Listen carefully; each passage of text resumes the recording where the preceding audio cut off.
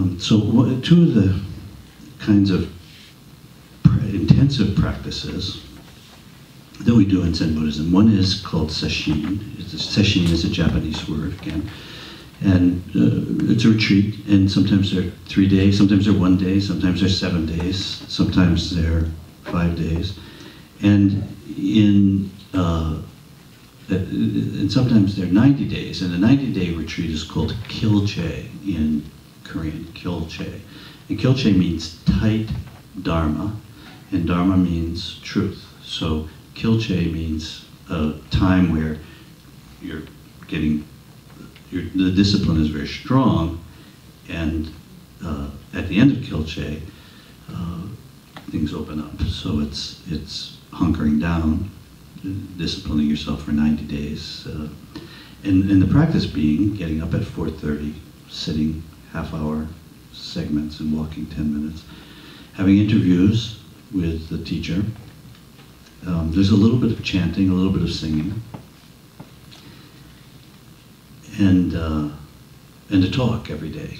And so I did that in Korea for 90 days. Uh, um, and uh, in, in Asia, uh, people look at retreats as a great gift. So they, they bring food and candy and cakes and things like that and give money to support it.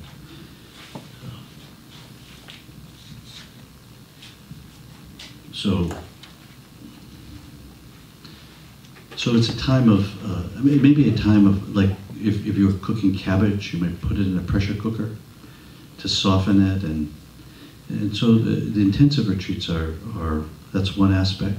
Another aspect is uh, it's a time of community and things are so regulated and so ordered that you don't have to think. You know, that people that your food is ready, it's simple, it's at a certain time. We have a ritual of eating that makes the eating it together kind of thing. There's no talking. It's it's typically in silence, although we're not really good at that. But at least at the formal times, there's no talking, and and so it's a, it's a, a time just to organize things in a way that one can really look deeply into one's heart and or to or one can freely sit in the presence of God without distraction, without confusion or or consideration.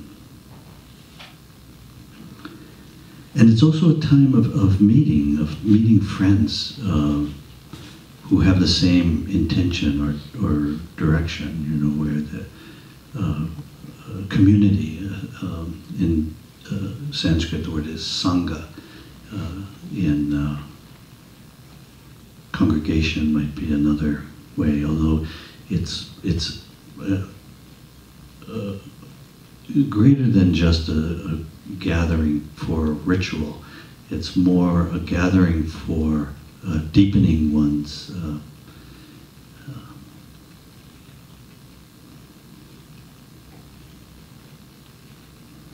I, I, I, don't mean to use words that are like uh, glib words like practice, uh, a time of uh,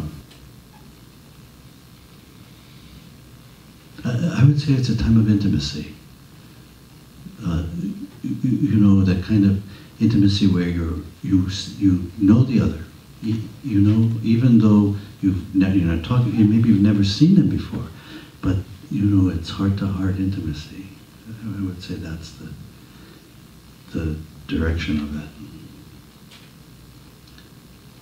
Being a PhD psychotherapist as well as a Zen teacher, you've experienced teaching in an academic environment and counseling in a clinical environment what is a Dharma talk? And how is it different from an academic lecture? What information is a teacher designed to convey? Okay, so Dharma talk hopefully is mind-to-mind meeting, heart-to-heart meeting. Uh, not a communication of information necessarily, or not something, and some of the best Dharma talks I think are ones where one comes away going, what did he say? But that there's an experience of meeting, a sense of, of connection. I would say that's uh, the truest intention of a Dharma talk. Um, and, and it's different in that um, if I was uh, uh, lecturing on um, uh, history, uh, I might want you to remember certain dates as important historically. Or if I was lecturing, if I was teaching brain surgery, I'd want you to be able to know the difference between a frontal lobe and a, and a limbic system. I mean, just to begin with, anyway. So there are certain facts that come from academic lectures that you would want, you would hope that. And, and there's a certain kind of intellectual samadhi that comes with, you know, hoping that people, you know, sort of a top-down from an academic thing where you're talking information, but there's, a, I, I would think, in the purest sense, a hope that what's lectured about trickles down and becomes a felt sense as opposed to just facts that you repeat on the test. Like I always say, like if I was being, if I had to have brain surgery, I would want a brain surgeon who loved cutting. And I would also want a brain surgeon who really loved the brain, you know, and could go and, you know, I wouldn't want a brain surgeon who was able to pass a test or know information. I would want him to, or her to, you know, love being a brain surgeon more than anything. Just having a great time in there cutting and being careful. I would be a terrible brain surgeon. If you need brain surgery, don't call me. 'Cause I'm, when I was in, I, I had to do this, um, when I was in high school, we, we had shop. Did, did anybody, yeah, shop. And the first job, first assignment in shop is to build a wooden square for sanding, you know, like a sanding block. And the shop teacher gave the dimensions exactly and never passed. I couldn't figure out what, you know, I'd give it to him and say, perfect. He'd go, you know, he'd measure it, you know, and I'd be, it's just my, my uh, uh, suggestion you go somewhere else for brain surgery. or building a bird cage, a bird thing.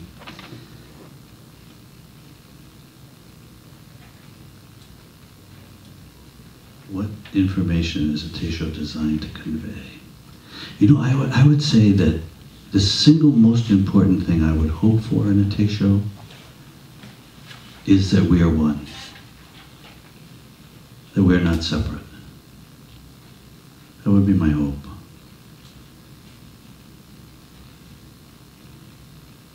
Sanzen. Sanzen is a Japanese word again. Means during retreats, people come for an interview, and oftentimes they're about koans, but not only. And um, how is it? In, in Sanzen or, or in, in Zen interviews, your hope is not that the person gets better. Your, your hope is that the person gets the same. So when they come in, you're, you're not like looking for their pathology and hoping for them to overcome their pathology. You're, um, and there's a meeting in that between the two in some ways, but you're hoping for, um, again, this meeting of intimacy, and hoping that. Um, I think there are two levels. One is hope that the meeting in in the interview is of benefit, and and the benefit has two levels. One, uh, in terms of their life, and the other is in terms of the world. You know, that one hopes that in the exchange, in the meeting, that the world is benefited in some way.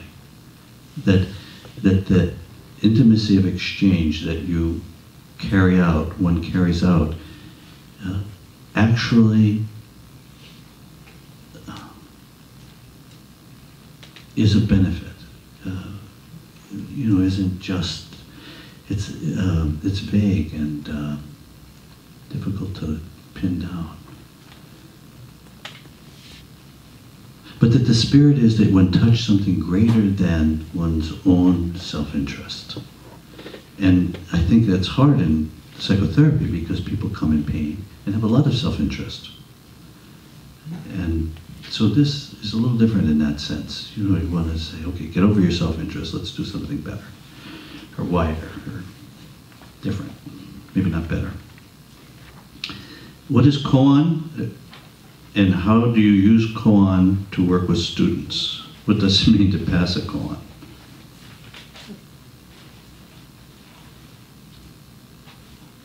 So, as I said, koan means public case, and um, there, there are three kinds of koans. There's uh, hwadu, hwadu, hwadu uh, means word, head, and so those koans are like, what am I? Who am I? What is God? What is Buddha? Um,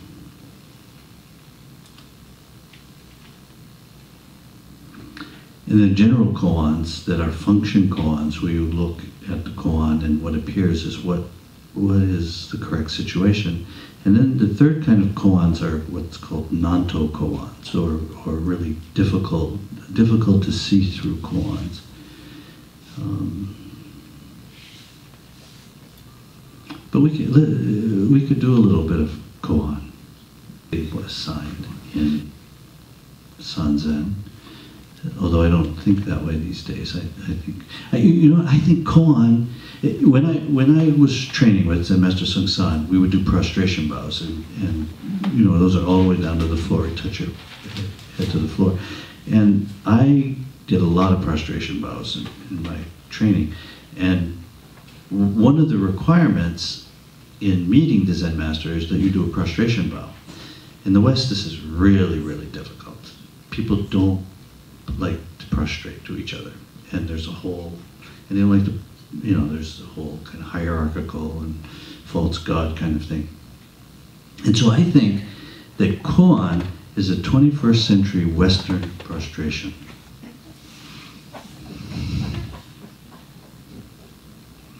That to take up koan is a really willingness to enter into not knowing, which is what that's the truth of prostration. You know that not me, but thee, you know.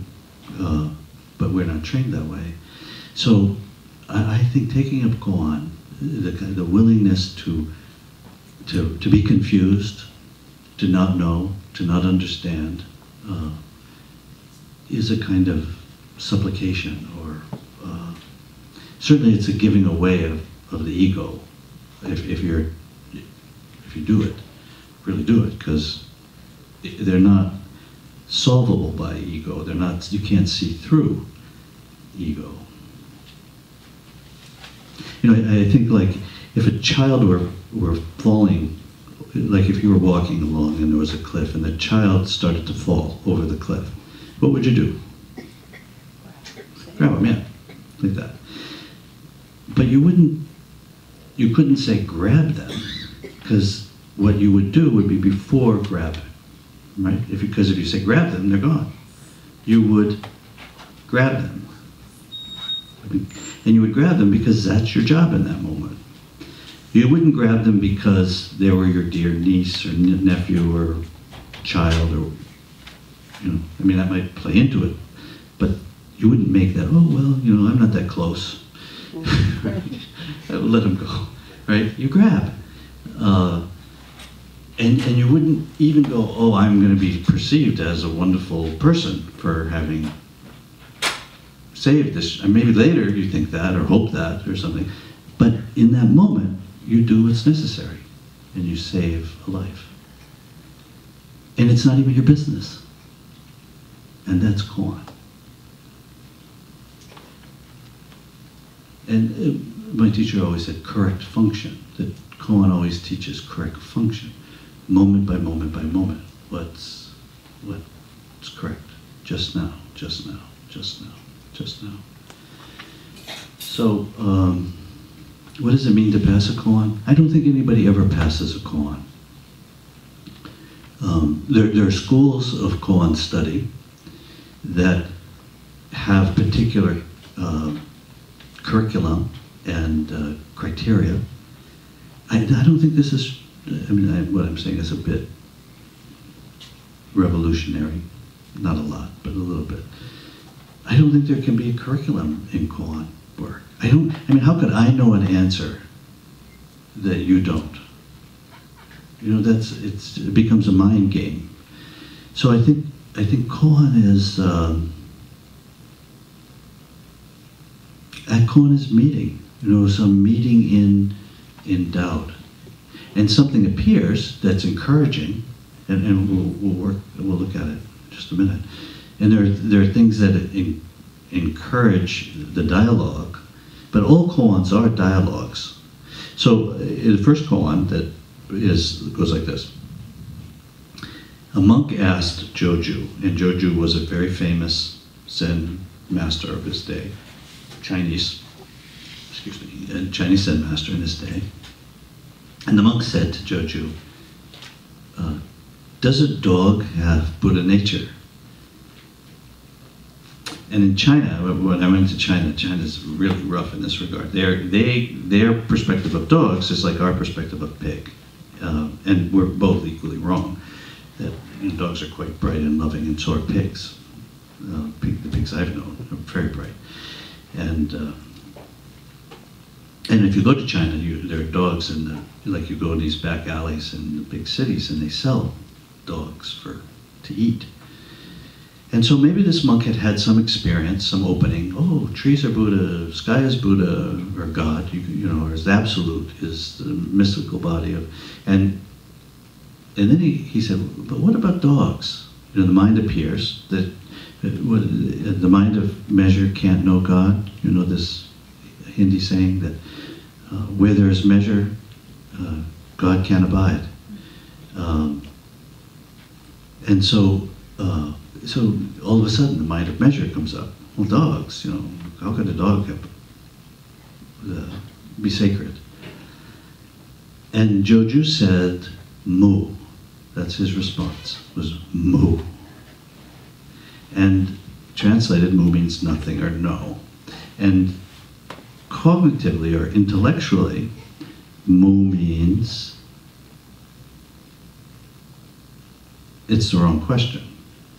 But none of those really see through the, and, and so we can say, you know, he's made a mistake.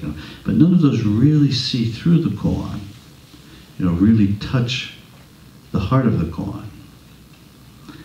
And so, what, what, how could you, how could one find the heart of this koan?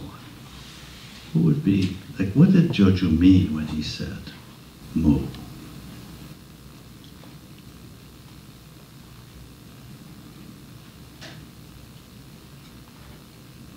What does "Mu" mean? Noise a cow makes. The noise a cow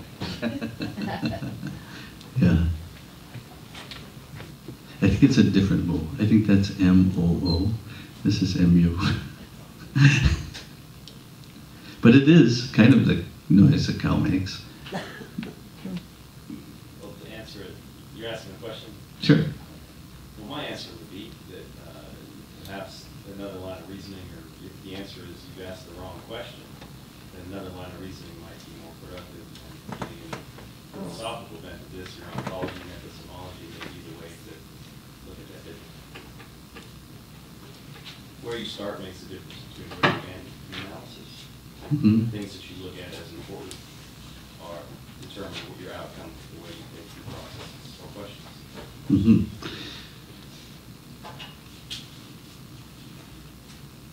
The answer to that may be moot. So, suppose you were to to take away your doubt or your your um, the tentativeness of it. What would you say? I mean, to go with your answer, you had, a, but take away the tentativeness. What would you say? I, I would answer that by another question. No, no, no, no, no, no, don't, don't jump beyond that. Go back to what you, your answer. The answer might be, If I take away the doubt, I look at my own, wait, no, no, no, go slow. You said, exactly, you said, the answer might be, moot, right. So if you take away the doubt part, what do you have? What's left? the answer is Answer is what? Okay, so if you take away the the stem of it and just manifest what's left.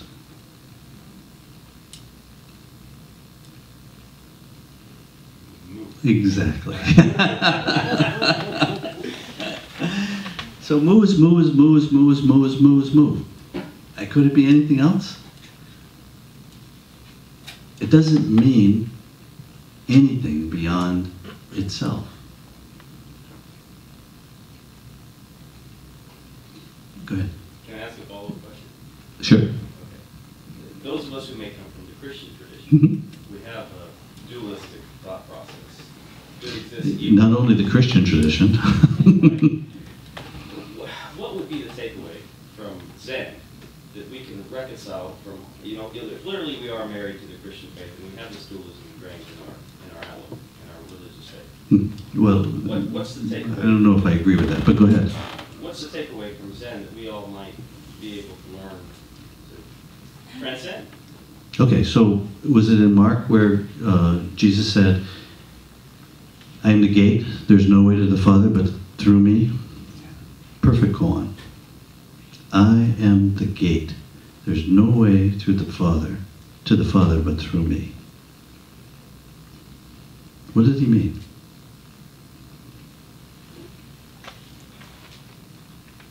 Well, I think he was in particular referring to Jesus as the way to the Father. Mm-hmm. if I'm. Jesus is the way to the Father. Okay. He said, I'm the gate. I am the gate. I am the gate.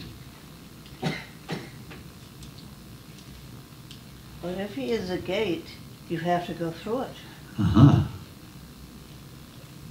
What do you go through? Well, somehow, maybe the life of Jesus, or knowing how to act as, as enact Jesus, Christ. You have to enact the Christ in your heart. I am the gate. There's no way to the Father but through the very heart of Christ. Yeah? And what is the heart of Christ? Hmm? No. Right, compassion. But that's a term, right? That's the name of it. But what's the activity of it? reaching out to others to, to, to love yourself and to love others. Mhm. And that's the explanation of it. But what's the actuality of it? You know, the walking next to the child who's about to fall. What's the grabbing of the child? I think that's what in the call. Say again? You have to live it in the moment, And how do you do that? Just now, because this is the only moment we got. making choices. But, but just now. You don't think about it, you just do it. You are it. Okay, but that's the explanation. huh? But just now, how do you do it? Hmm? And let yourself be carried away. Don't let yourself be carried Uh, away. Let, your, Let yourself be carried let away Let yourself be carried away into that type of being. into the bliss of being together. And, and so might, one might express, which, which is what we're doing. So one might express it like this. Oh, thank you for your question. Or I'm lis- you're talking, or I'm talking, you're listening. Could there be in this moment anything more sacred than that?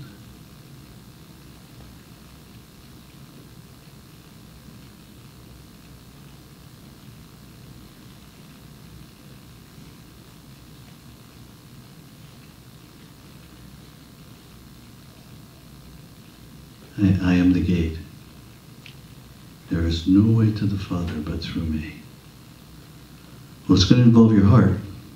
Pretty, pretty sure of that. So that's that's the Christian Christian. Uh, All I think the um, there's a book called um, uh, Zen and uh, the Gospels. I think. Uh, but but it, they're all koans. You know, my, when I was growing up, my favorite gospel is you know very common is uh, 23rd Psalm. You know, uh, Lord is my shepherd; I shall not want. Uh, and so what you know that's Buddhism. One of the first uh, noble truths was wanting causes suffering. Or second noble truth. First noble truth is there's suffering. Second noble truth is wanting causes suffering. Third noble truth is when wanting quiet, suffering diminishes. And the fourth noble truth is that if you live according to Christ's teaching, love thy neighbor as thyself, or um, that you're wanting quiets and so suffering quiets. So, you know, it's the 23rd Psalm. The Lord is my shepherd, I shall not want. He maketh me lie down in green pastures. He restoreth my soul. That's the, I'm the gate. There's no way to the Father but through me. And, and alive in each moment of our life. And with each breath, you were saying being. And, and, uh, and being is breathing.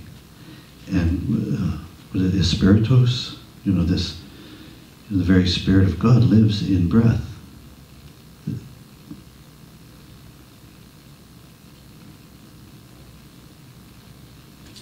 talking about listening. Can you transition us to the act of just listening with our mind, but listening with our whole being? How do you? How, how do you transition from listening, like analyzing, figuring out, or thinking about what somebody said, trying to figure out their motive, versus Listening with your whole being. what would it be like if you listened with your whole being? What do you imagine? You, I, I, you would be still inside. It'd be quiet, there'd be some quiet to it, You would be alert, alert and still. Yeah. How would the other person feel? Loved. And, and how would they know that they were loved?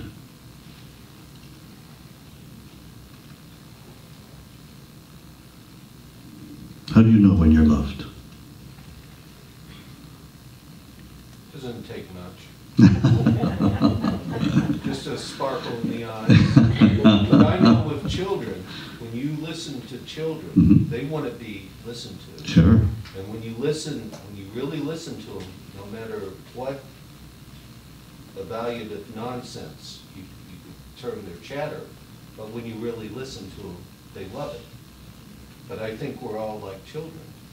Hmm. Aren't we? essentially and ultimately. We are. Yeah, may we all find that and never lose it, that innocence. I, I feel, when I feel listened to, uh, the experience is I'm not judged. I'm accepted in a moment for who I am. Um, the other hasn't fixated me with some opinion or assumption about me. Um, and, and my hope in wanting to be that in the world is that the practices that I do remind me that that's my original, that I am the gate. When I am gone. Do, do you hear that? Yes. Okay. And, I'm sorry for, uh, I should have, I should have been in the moment and listened to you. Something was jumping ahead, and Sure. I apologize for that, because I want to be that. I want to be that. But I was thinking about. But you're being, for the whole group, a uh, wonder, the wanderer. You're the voice of wonder for the whole group. So that's a, that's a fine thing. But I, I was, I was thinking of an acting technique, it's called the Meisner technique, where you listen and repeat. And you cannot act, you cannot anticipate, and you cannot pretend. And it sounds very Zen-like, but it was created by this acting teacher named Sanford Meisner. Mm-hmm. And I never quite got it. I never quite got it. And I always wanted to get it. What would, what would it have been like if you got it? How would you know? It would just, I, everything has something tagged to it. Every thought has a tag to it. So every response, it always seemed like there would be some sort of tag. And that's how I'm trained in academic thinking. It would be like a reference or a tag. And I'd like to be without the references of the tab for a little bit. Okay, so you have an ideal state that, that uh, you imagine, that you're frustrated because you haven't achieved it yet. Mhm. Yeah. Good luck with that. Because there is no pure state. Because that's what we say. It, you know, it's the Christ in the heart, not, not my heart. That the I in the I am the gate is not the small I. And the small I has all kinds of ideas about what would be the perfect listener. And my guess is that people around you would see you as the perfect listener if you were just trying and would be tremendously forgiving for all your associative thoughts as long as you were trying. That's, that's my guess. It's, all we can do is try. Yeah.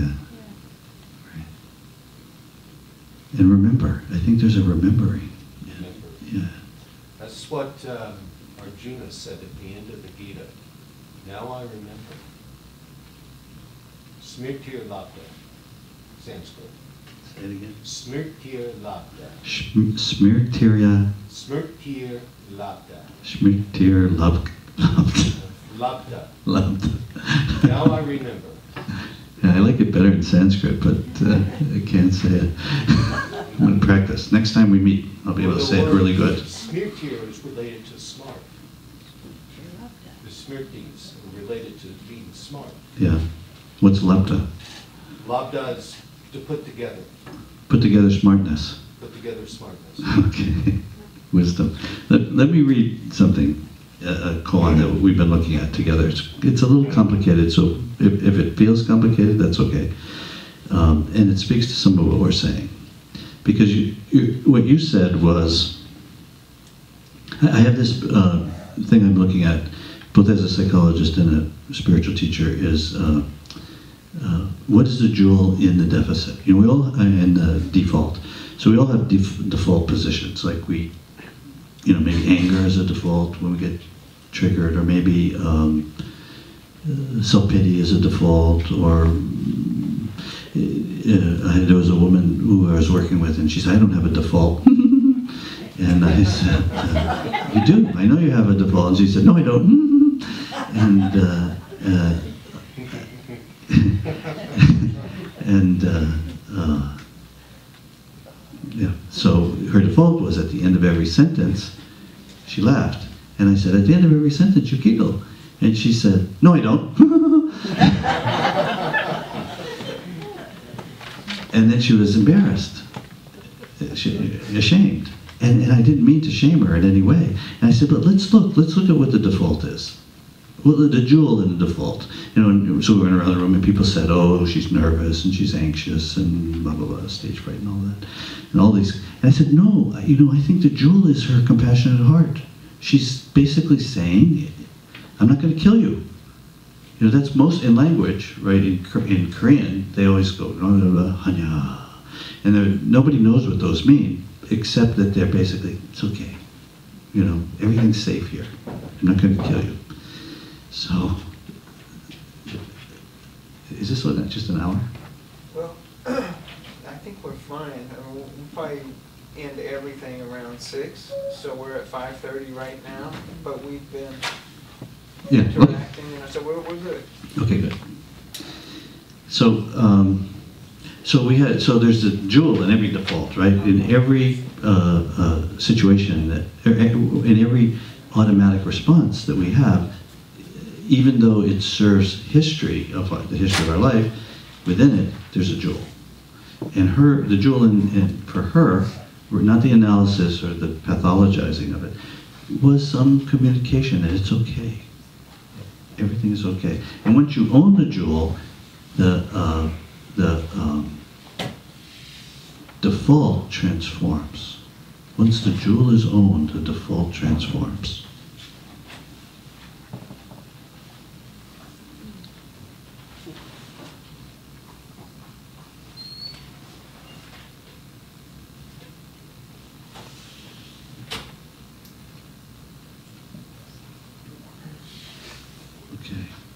Okay, so let me read this koan.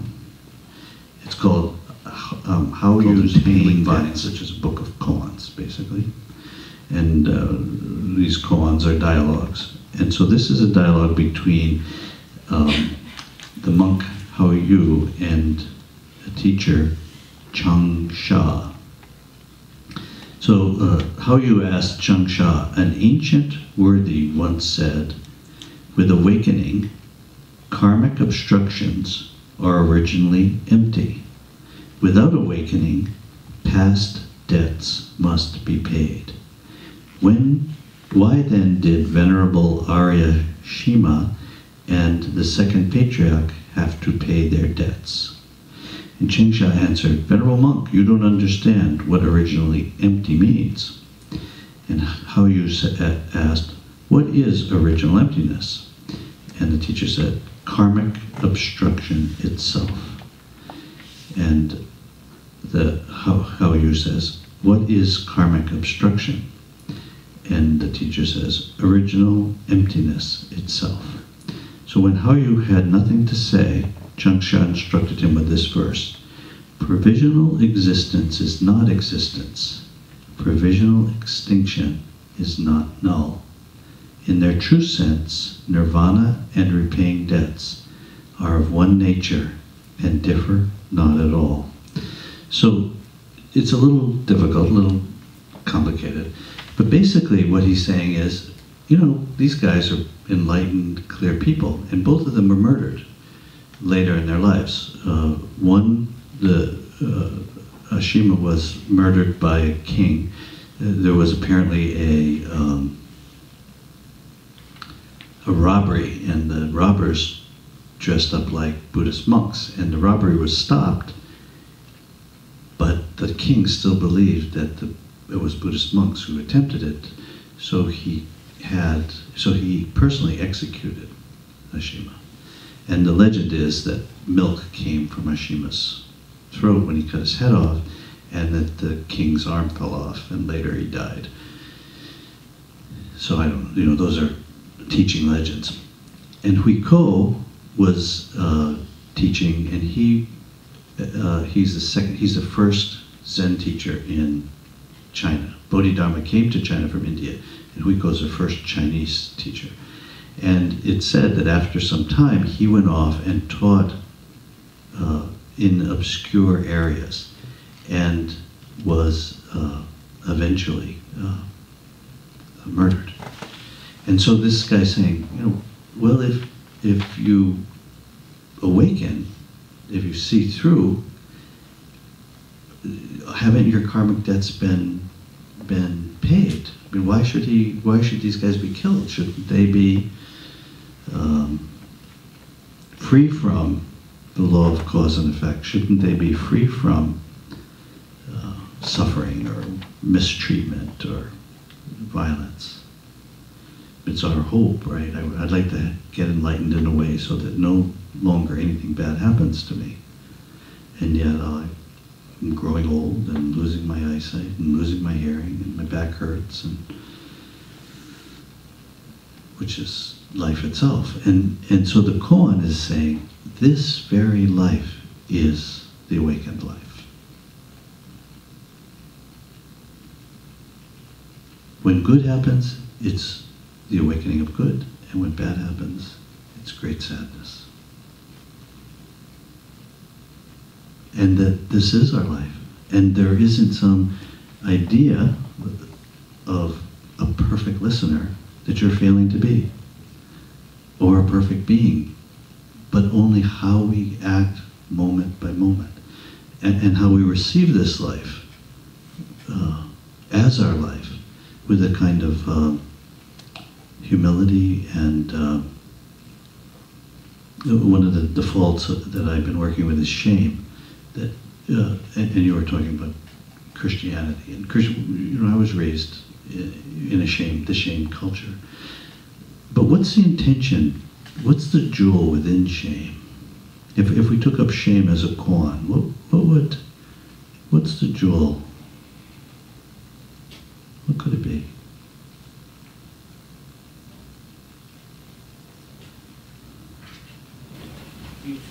short of who you are, that's, But- that's a cause of shame. yes, but then you know that there is something greater than that act itself, which is you. Oh, I like that. I like that.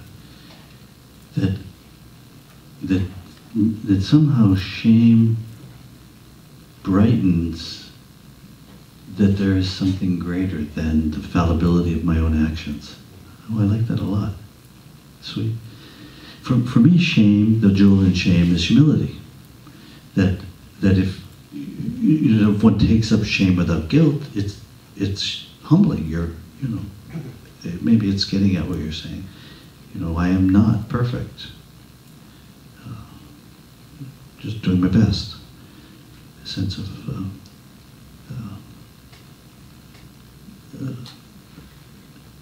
it's when the ego is let go of in shame. You know, the shame has a lot of ego still in it. So when that's let go of, there's a kind of humility. It, I've always had trouble with humility, because humility it, it means uh, sort of, it all depends on what your definition of humility is. Well, what is it? He who exalts himself shall be humbled, he who humbles himself shall be exalted. Um, I like to think of it in its greatest sense as just being a, just being empty, just being an empty container, humbleness, rather than saying, now I've got to feel bad for all the things I've done wrong and feel ashamed of it. You know, sometimes people think that is humbleness. You know, before you do an action, well, don't, don't be proud because you've done X, Y, and Z. And uh, you shouldn't toot your horn very well because uh, you don't, you don't have any right to. But it's to be neither of those somehow, I think.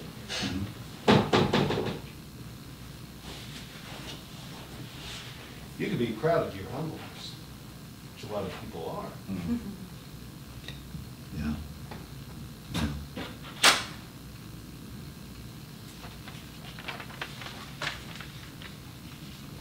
What's your definition of humbleness? I was looking at looking at that, uh, you know, uh, inspired by your question uh, or your discourse. I, I think for me, humility is the realization that at my best, I'm not good enough. Um, Hmm. Maybe your best, you're not good at. Hmm. Well, I don't know. I don't know about that. It I'll have doesn't to mean think that for about it. me. okay, tell me what it means for you.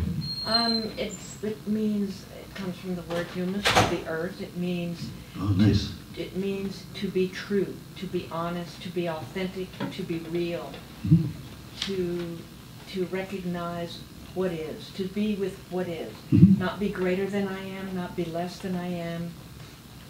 True, honest, I real. Like that. And to know what that is. Say, say something. To know, to know who I am. To know my gifts and my talents and my faults. hmm Yeah, at my best, I'm not good enough. I mean, that I'm, Well, that's one Well- half of it. that's one half of it, yeah. Uh-huh. And, and at my best, I'm all of it. Okay, Yeah. yeah, okay, good, Yeah, okay. that's the other Yeah, good. Yeah. And, and maybe humility is for me to, to hear you say that. yeah. I mean, it goes back to me, it it goes back to what you said earlier, is that, and to be real, to be honest, to be authentic is, I'm not whole unto myself. It takes all of us, and we're not separate, we Yeah. are one.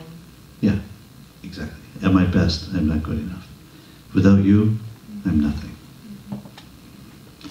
And, and it's in a practical sense. If I were sitting up here talking and I didn't have your friendship in it, it would, wouldn't happen. I'd be, I couldn't, my hope would be to meet you. And if there's no one there to meet, then, yeah, at my best, I'm not good enough. that it, you know, you know, some they say it takes a village to raise a child and all of those things. And even with my my keenest, strongest intention to do my best, I still make mistakes. And and there and so then there's the possibility of compassion not only for others but for myself. At my best, I'm not good enough. By myself. by myself, which you said, because of the earth. Because without this earth, we're gone. Without gravity, we're not hit. We're not sitting here. You know, gravity is a great friend, and nobody knows what's what is gravity. Is it? Is there anybody in science here? No. So I can say whatever I want.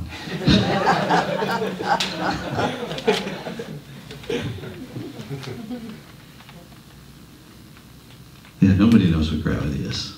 You know, and by most calculations, there's too much of it. So it must be leaking off somewhere, whatever somewhere is. Special gravity storehouse. People don't know. they That, that's one challenge that we have as teachers, is not everyone will hear that statement the same way. But at my best, I'm not good enough. Right. Not every, and my experience with students, one of the key things that I want them to be more of is, is to have more self-esteem. They, they beat themselves up so much. Uh, One of the words they like to use the most is can't. And so I want to break that habit, the can't have, habit. And, and, well, at their best, they're not good enough. They'll take that in a different way than, than we will take that. hmm Okay. So- so So so out of this dialogue that we're having. Not me. Did you leave your cell phone on? No, I don't think You it's came here to mine. give a talk with your It's cell your cell phone. My best, I'm not good enough. Okay, so, what- so what I'm hearing you say is, uh, uh, there's some hope that uh, uh, uh, your students thinking about themselves is not going to interfere with their true ability. I want them to see the light in themselves rather than the, all the faults, which they can clearly see. Mhm. And they don't seem to see the, the light as much. They don't seem to see the, the love and compassion and the, and their, their smartness, their, their brilliance. They don't, they won't acknowledge that. It's almost wrong to acknowledge that Mhm. or to be the smart one. I mean, I, I've seen smart students who I know knows, will know an answer, but will not answer because they're surrounded, they, they don't want to be shown as the smarty, Yeah. smarty pants. Yeah, okay, so what I would say is, at my best, I am not good enough.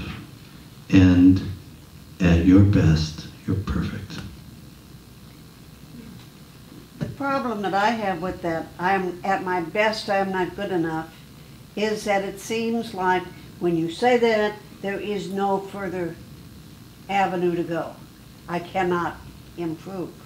Because I, if I'm at my best,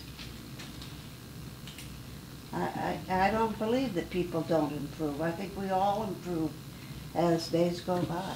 hmm And so, that's why I would have problem with that, my best. Maybe we can change it too. Wait, wait, wait, wait, let's go slow. Sorry. So, it, so if I say to you, at my best, I'm good enough, where can I improve?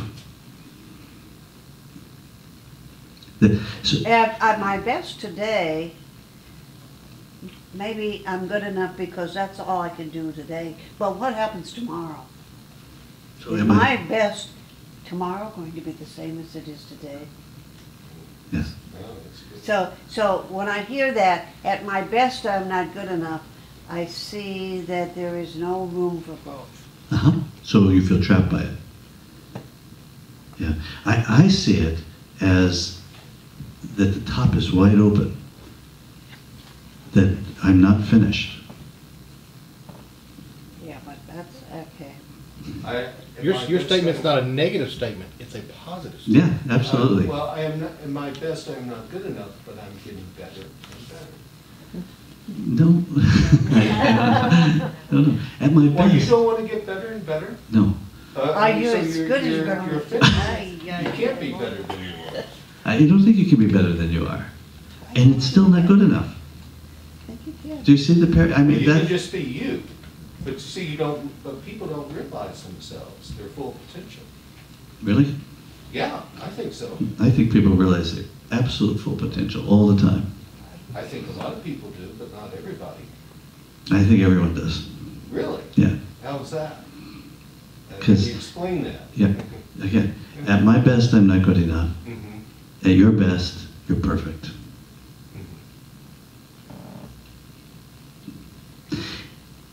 And all we have is this moment. So if we're fully present in the moment, is there getting better?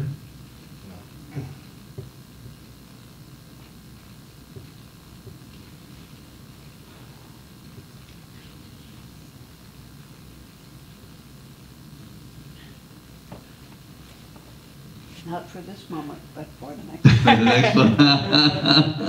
In the end, what do we have? You know, this bit of time on earth, a little bit of friendship and kindness, and and hope that we don't damage too many people along the way. And so that tomorrow might be a little kinder. Right, of course. And that, that's what I mean by at my best, I'm not good enough. That tomorrow I'll be more kind and more generous and less self-involved. So an invitation to keep doing your best? An invitation, at my best, I'm not good enough, is an invitation to be, uh, to blossom, uh, you know, to, to come to full realization in some way. But it's marvelous because it's a koan. At my best, I'm not good enough. And it triggers all kinds of, and, but also it's triggered this wonderful dialogue about it. I, I mean, is it true? At my best, I'm not good enough. What? At my best, I am what I am. It's like a sunset or a sunrise. Hmm? The one, it's like a sunset or a sunrise. Yeah. The one you're looking at is the most beautiful. Yeah. There's gonna be another one tomorrow. And it'll be the most beautiful one you're looking at. May- Maybe, but, but, and and what about the friend that you're talking with?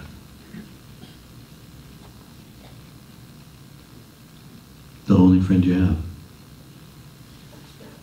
Then, Hmm? at, at that moment, at that, it's, it, uh, Matt, Matt and I and a few others have had discussions like this, and in the beginning, my head hurt. But then I learned that I kept trying to figure it out, Right. rather than just being in that discussion, taking from that discussion what I could at that time. And then build, you know, on, on further discussions, further moments. Uh, it- it- It's not something that's, all of a sudden you get it, you always had it. Nor is it something that's fixed. And, and I think, uh, um, what, um, what's, uh, what's your name here on, what, what's your name? My- My name? Yeah, My name is Regina. Sister Regina? Regina. Sister Regina, okay. So what Sis- Sister Regina is saying is that, that being, that, that the, that, uh, correct me if I'm wrong, I don't mean to speak for you, but that the root of being is getting better. Being, being, blossoming. Uh, and, and without the root and the stem, there's no blossom. And we certainly love the blossom. You know, when, I mean, the blossoming is the vital fruit of. And do we love the flower that has the brown petal less than the perfect blossom?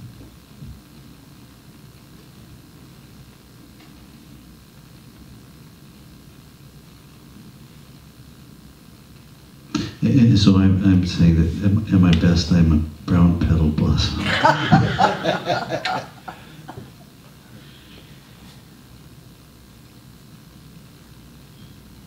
There's another, another side of it too, is that at my best, I'm not good enough because there's an I involved.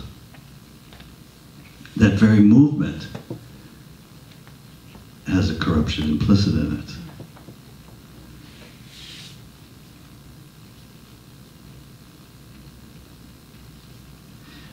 So that it could, there could be a shift from at my best, at our best, we are good enough. And, and then there's meeting and friendship and kindness and tolerance and all those wonderful things.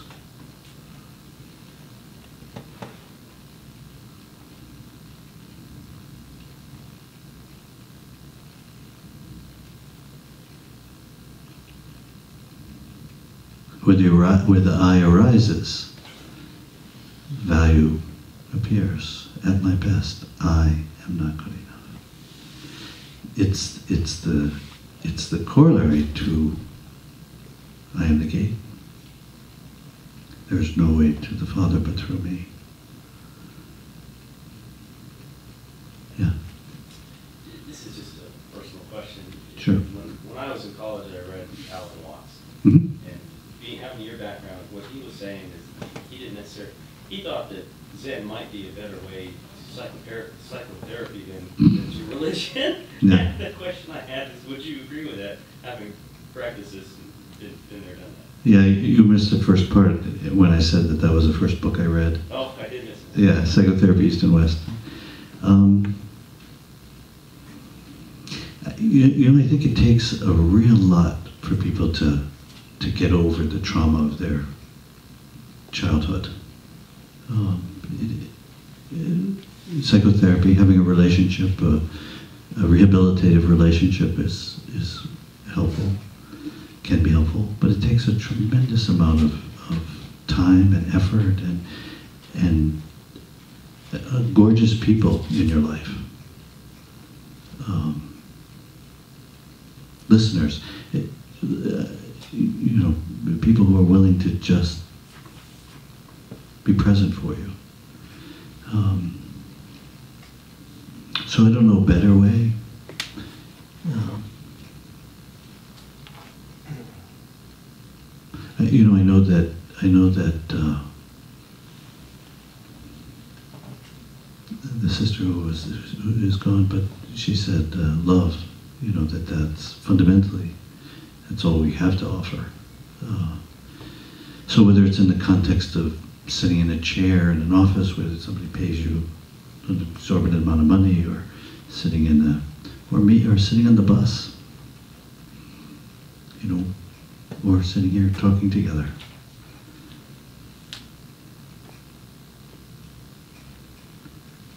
Can I ask you one question? You mentioned the traumas that people have in their childhood. Um, I've been part of a meditation group, uh, different kind of meditation than yours, uh, since 1975. And when we get together for longer meditations um, over the years, for weeks, uh, as you have talked about, uh, what would occur sometimes with people is something with- that was, we would call purification, unstressing, normalization, um, maybe unraveling the knots of some trauma that happened before, that would happen. Uh, And some people wonder about why does this happen, et cetera, et cetera, and, and the intensity of it happening. And there's a lot of discussion in my groups that I, I know about that, but I'm just curious about your practice. Does that occur in your practice uh, to a greater or lesser degree? Mhm. Okay, I, I, I'll talk to that for a minute. From my understanding, not the absolute, and don't speak, but only from my experience. I think there are practices you can do that bring about changes in your state, emotional state, and uh, practices you can do both with other people and alone that that give you some catharsis or freedom from bound energy some way.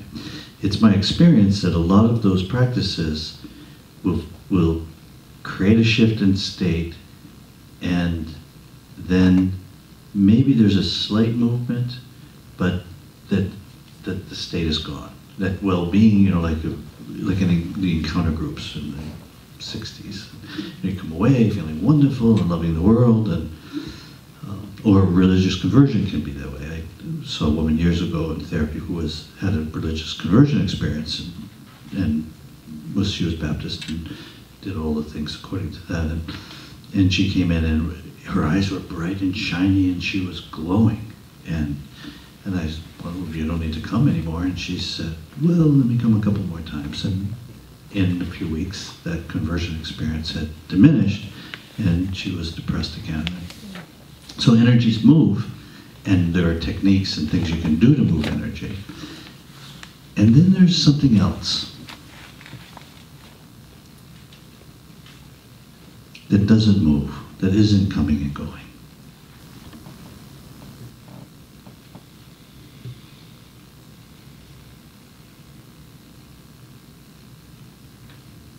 And, I don't think you can access it, access it.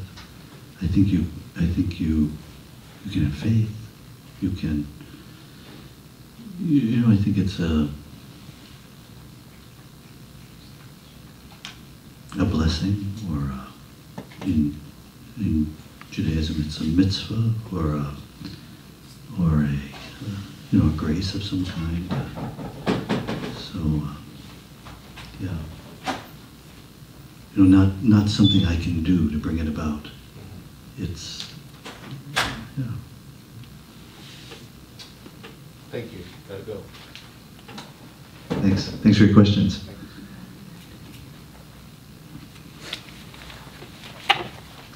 It-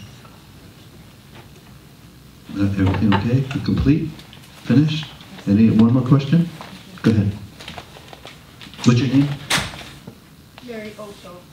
Um, Sister Mary? Okay.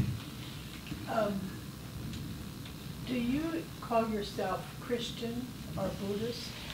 Or, and then, well, answer that first, then I have another question. Okay. I, I usually call myself Dae Gak. You're so smart.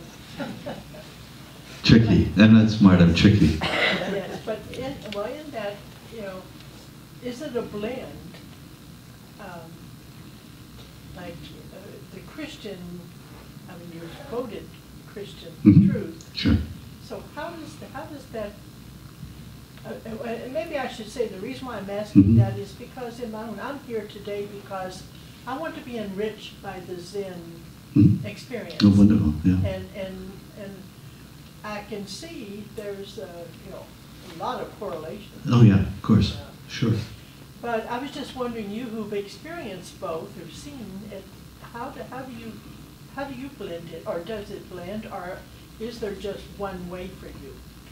Oh, no, no, no. As I said, we went to Gethsemane for 10 years and, and um, yeah. But you were teaching your way, so that doesn't mean that you, Well, meeting, me, no, no, more meeting them, meeting, meeting, uh, it would, be, it would be hard to impose a doctrine on the monks of Gethsemane, you know, they're pretty hardcore Christians.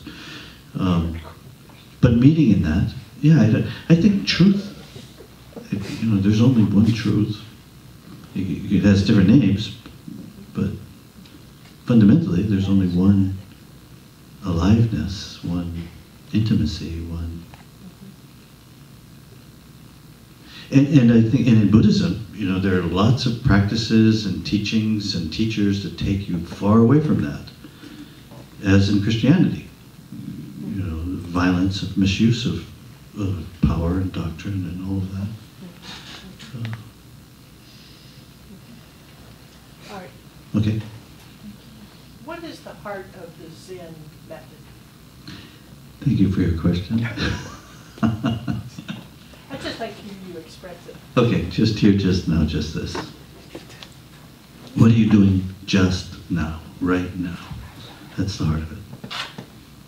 So really mindfulness, mindfulness of the moment. Uh, I struggle with that word mindfulness, but Yeah. Being present, pure and total presence. Doesn't arise, doesn't cease, can't be brought about. Each moment is sacred and complete in and of itself. I mean, that's a great basis for everything in life. It's been my experience. When I can remember it.